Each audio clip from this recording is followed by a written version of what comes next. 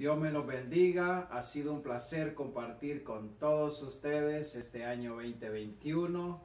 Y de todo corazón y con mucho cariño les saludamos la familia Medina Ponce, deseándoles un feliz año nuevo 2022.